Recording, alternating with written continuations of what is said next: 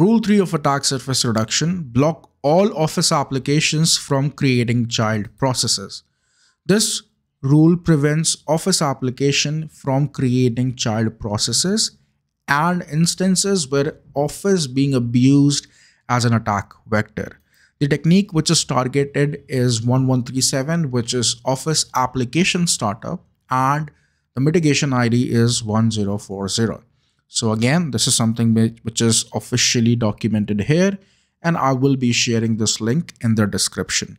From deployment method standpoint, this rule can be deployed from Intune Group Policy PowerShell and Microsoft Endpoint Configuration Manager as well.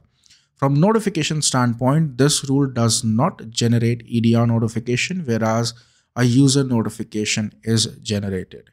To query rule specific events, again, these are the two queries that can be used wherein you can mention action type as ASR office child process audited or blocked. That's it.